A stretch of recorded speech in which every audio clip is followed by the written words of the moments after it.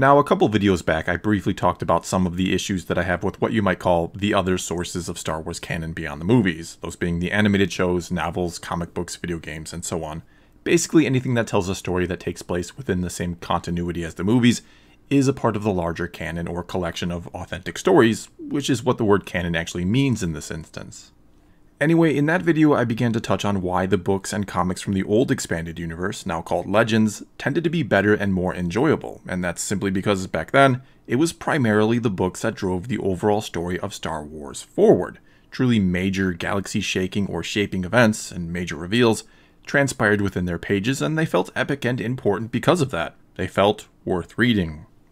However, today, and this isn't a complaint, it's just a fact, but it's primarily the movies where this happens, or where the big, truly epic stories are and will continue to be told. Though, yeah, upcoming shows like The Mandalorian will likely also not shy away from potentially quote unquote important or truly big events or reveals, and the animated shows too have had their moments, but it'll likely always be the movies that the greatest of stories are reserved for and because of this, it basically leaves the other sources of canon unwilling or unable to get into the really good stuff. Nothing all that big or important tends to happen there because why waste a good story on a book when, relatively speaking, only a small number of people are going to read it compared to how many might watch that story unfold on the big screen, or the little one. And you can't have events that are too big or important happen that would directly affect the movies, because you can't expect everyone who wants to watch the movies to read and keep up with what's happening in the books.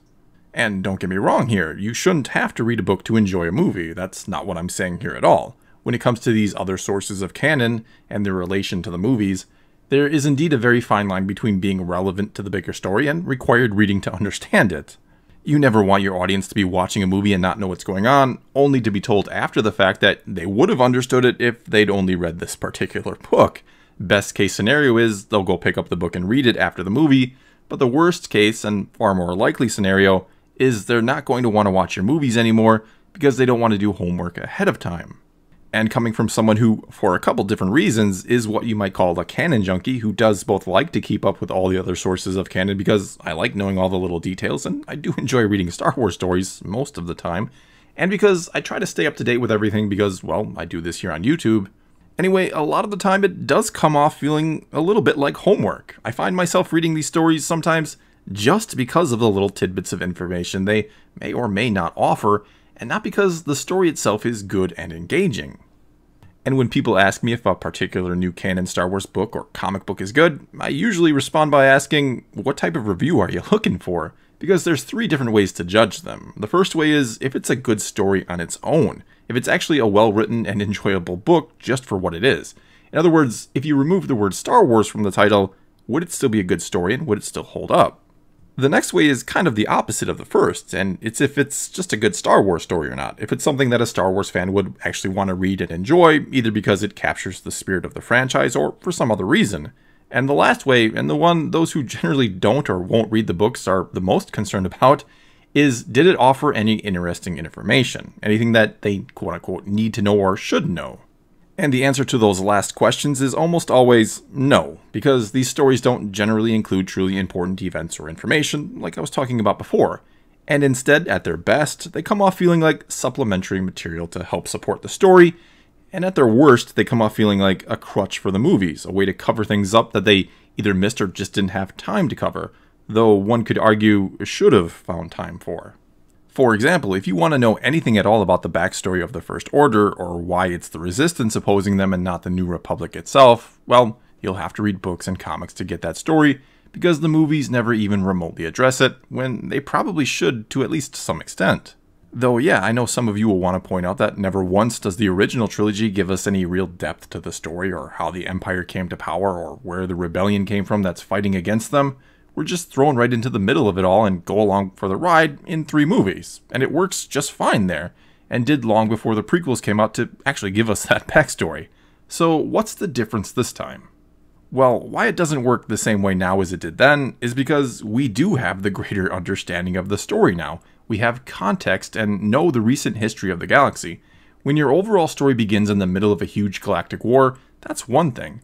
When you continue that same story and put it right back into the middle of another galactic scale conflict, and don't tell us how we got from A to B, well, that's just lazy storytelling. And speaking of that, or the other sources of canon being used as a crutch or to fill in the blanks left by the movies, the worst example of this, or the best, I guess you could say, is learning in the novelization of The Last Jedi that Rey had essentially downloaded all of Kylo Ren's training from his mind, and that it happened during the interrogation scene in The Force Awakens, and that's how she knows how to use a lightsaber and to use the Force in other ways which is so ridiculous, I can see why they didn't mention it in the movie. Though truthfully, I bet what happened here is the author of the book was no doubt asked to explain how and why Rey knew how to do what she did in the movie, since the movie itself had no interest in doing that itself.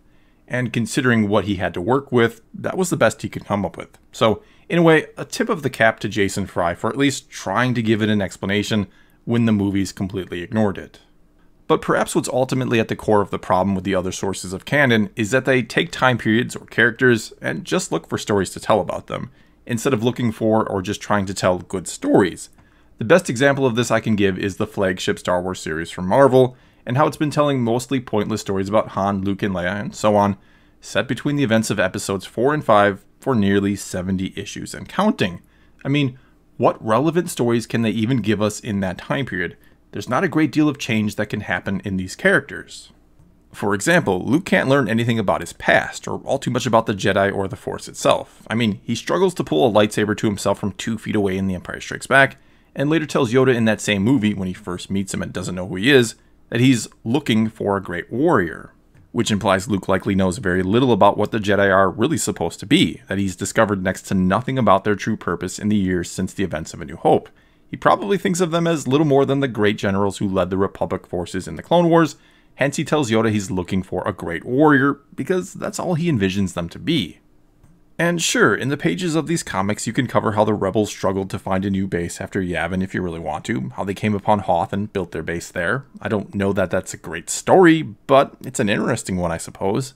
And you could also cover the bounty hunter they ran into on Ord Mantell, which is the incident Han mentions to Leia in The Empire Strikes Back, and what also convinces him to leave the rebels and to pay off Jabba before it's too late, apparently.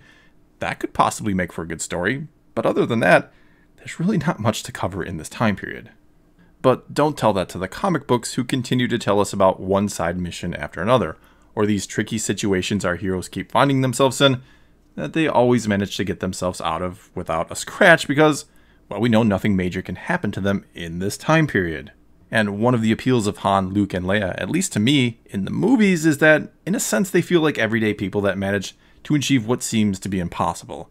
Yet this comic book makes them feel like superhumans who get in and out of tricky situations or jams all of the time. And instead of enhancing the original trilogy, all it really does is take away from it, at least in my opinion. All that being said about the other sources of canon, I'm not here to say that everything in it has been horrible or unnecessary or just been patchwork for the movies. There's been some really good stuff in it too. In fact, there are a few real diamonds in the rough that are actually exceptionally good. And I'll go over two of the books that, for different reasons, were fantastic and represent what the other sources of canon could and perhaps should be. And the first one is, believe it or not, the book Phasma. Now, yeah, in one sense, this was yet another case of taking a character, and a mostly irrelevant one in the movies, and looking for a story to tell about them. The difference here is, it was actually a really good, interesting story on its own.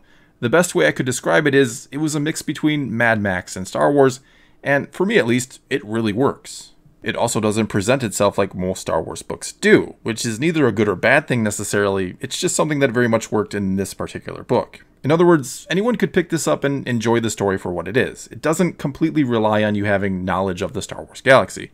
Yes, obviously, a Star Wars fan would likely get more out of it or understand it on a different level, but this book seemed to prioritize story over all else, and it worked really well. Another good book, which did the exact opposite of Phasma in many respects, was the book Catalyst, which was a prequel book to Rogue One. And this book is so relevant to the movie that it's almost, just almost, required reading for Rogue One. It managed to walk that narrow line between relevant and required oh so well, and goes into the backstory of the Death Star project, explores many relationships that the movie eludes to being very important or interesting, like Galen Erso and Krennic, or Krennic and Tarkin, and it really gives some backstory to the characters that just had virtually no screen time. Again, like Galen Erso and his wife Lyra, who dies at the beginning of the film. All in all, what's really great about the book Catalyst is that the movie Rogue One feels like a direct continuation of the very same story. And I dare say it's the only book in the new canon that truly feels like a part of the movie universe. Yes, I know it's all the same continuity, and it does generally feel that way, or is supposed to, but oftentimes, at least for me, there is a sense of disconnect between the books, comics, and so on, and the story we see on the big screen. Again, most of the time when you read a book, you can just tell they can't or don't want to spoil anything that the movie might cover. They give you little pieces of information or lead you to believe something might be important or relevant to the movie that's to come, but eventually it isn't. Like, there's this big reveal coming that it'll make it all worthwhile to read, which is what the Aftermath trilogy felt like it was doing with the character of Gallius Rax, but ultimately, there's absolutely no payoff to the bigger story, and that whole trilogy just kind of feels irrelevant. And as I've said before in other videos, in some ways Star Wars could be more like the MCU, only better and more elaborate or complex for those willing to venture down that rabbit hole. Because yes, the movies always must stand on their own. I would never ever argue otherwise. I would never make it so you had to keep up with the other sources of canon to understand and enjoy the films. But there are ways to make all these books and comics far, far more relevant and in turn, far more interesting. Because if they hadn't rushed the sequel trilogy into production and had instead sat down and spent as much time as it took to map out the whole damn story the trilogy was going to tell, thought about virtually every little connecting thread and detail, you could have formed one large, compelling overall story that took place over multiple different sources. You could have decided what books and comics to make and how they would fit into the overall story and feel like an actual direct and important part of it without necessarily being required to watch the movies. Because again, you do have to be careful about walking that line between relevant and required. But why not give us the backstory of Snoke in a book released between episodes 7 and 8? Especially considering the movie didn't touch on his backstory at all, and we're going to get that story eventually anyway. Why not have a book about Ben and Luke's relationship that would be released right after episode 8? A surprise announcement, even because you don't want to spoil the movie. And it's one that goes into what went wrong between those two. And again, it's a story we're going to get eventually, so why didn't you release it at the right time?